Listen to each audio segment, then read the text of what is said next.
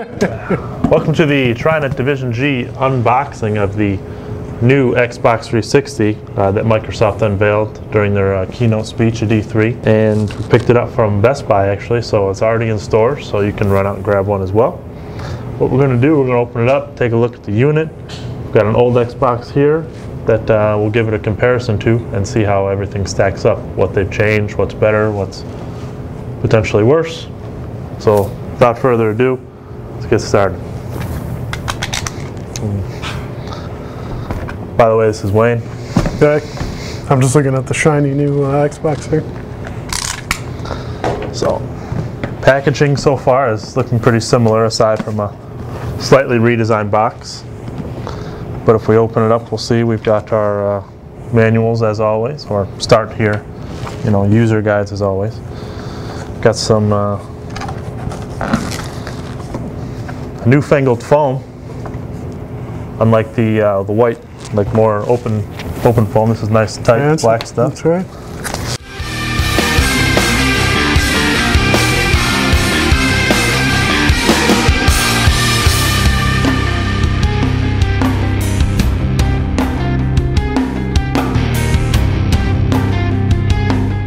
Cool looking.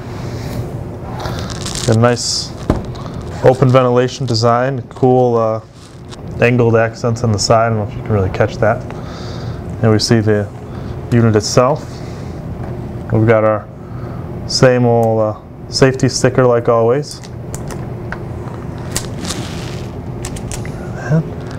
See a nice, much cleaner front face here as we can see we don't have like the uh, old memory card ports or anything like that. So it's nice and so that allowed them to shrink some things. We flip a little door just like always, and we got our two USB ports, and then our uh, wireless sync button is just kind of built in right next to the USB door.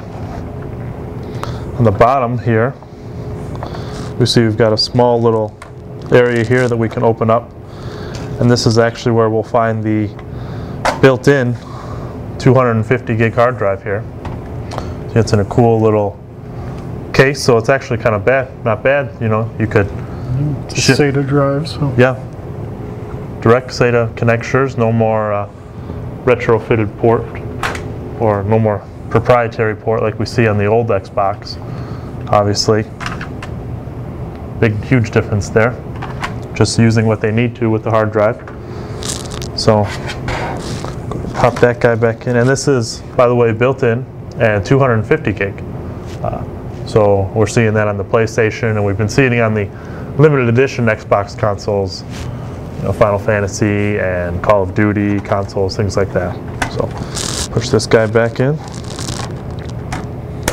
And we've got built-in rubber feet here on the bottom, nice big, long ones that elongate the entire sides there, unlike just the four little pads like we saw before. So it's got a nice stable side, and we do see the small little pads on the bottom. So we still have the dual operating mode options. So that hasn't gone away, which is nice. Uh, so let's take a look at the back here, new port, ports on the new unit.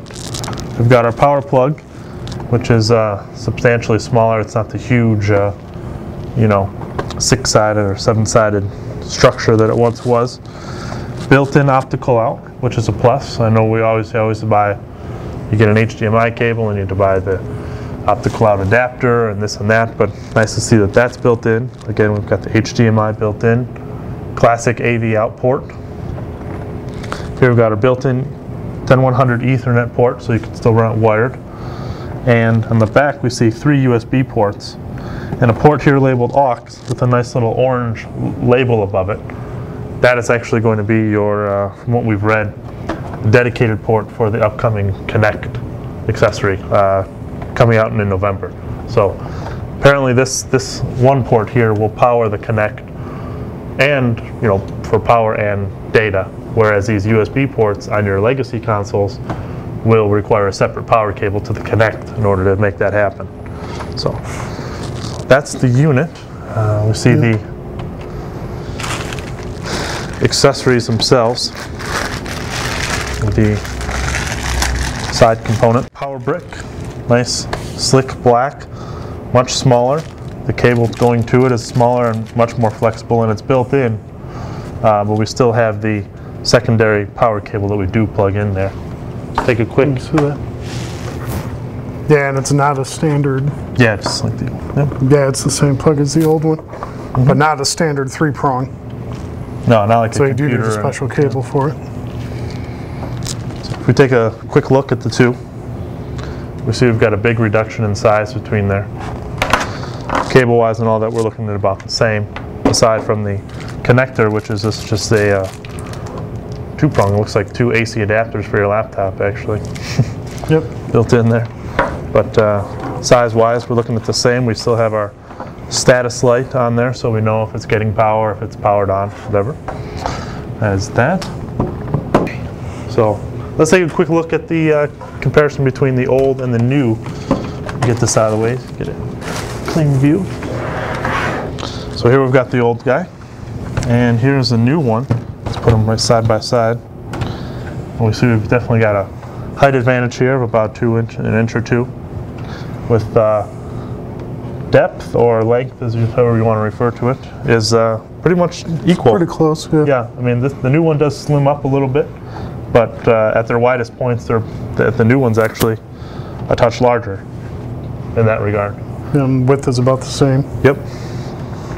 And then on the uh, front panel, instead of the actual push buttons, we have touch controls. Yep. And here, again, we've got the USB ports. Two down there. But the one thing you notice is missing is your memory card ports. Yeah, they don't have the uh, the old style memory cards anymore. This uh, now that you know, a few months ago they announced that they they support USB drive up to 16 gig, so they've just totally adopted that on the new console, which is fine with you know more. It has two more USB ports than the old console had, so which is nice. Yep. So if you're going, if you're looking to replace your current Xbox with the new, then you just need to plug your USB memory stick in your old one, migrate your profile, and save games over to that, and then it'll work on the new one. Yeah. But with the new one having the internal hard drive, Different. you connector. can't yeah you can't swap hard drives anymore so for actual downloaded content uh, for your games demos that you still need to use the uh, the hard drive transfer kit to Yeah. be able to do that They may come out with the one specifically for the new one. Uh, we see it's in a small little case, so they may make something a little dock or something like that, perhaps. But uh, as of yet, we have we don't see a way to get all your 120 gig of data from this guy onto the onto the new console yet. Demos and you know downloadable content. If you had map packs or anything, Yeah. those those could be bigger than what you see. So there's no yeah, there's no change software-wise. You know, you're still going to have the NXE, the new Xbox Experience dashboard, and all that stuff. Last.fm, Facebook, Twitter, Netflix, Pen, you know, and of course you can plug an iPod or a Zune into it, just the same as we've always been able to since day one. So, no change there as far as backwards compatibility as well has remained. You know, there's no architecture or software changes. Really just cosmetic, and then some nice tuning down on the the core, you know, hardware. So it's good. So come by uh, Division G at our next gaming party, and uh, you can check it out, take a look, and uh, losing losing Halo, or yeah unless unless you and as play soon as we get it yeah. connect we'll shoot a video on that too unless you play Jimmy, then you know, and, uh, you win. and that's and it's always domination Yeah, it's good. Thanks very much, and don't forget the division-g.com, division-g.com, and find us on Twitter at division underscore g. So uh, take check it out. Good. Talk to you soon. see it